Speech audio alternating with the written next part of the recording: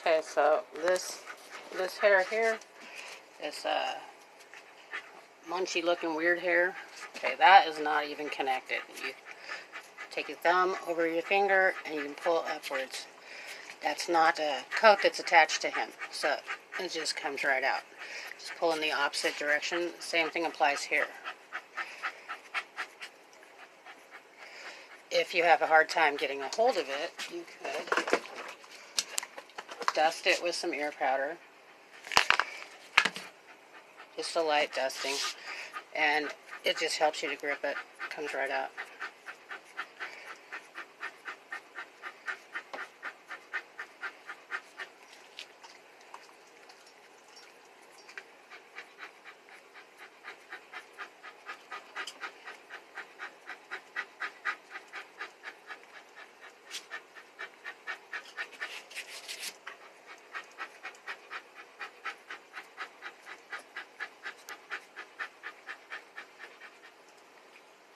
You just have to know the difference between which coat you're getting and which is his coat. Um, the stuff that's not attached to him, it rooted deeply, will come right out. Anyways, if you can see the difference.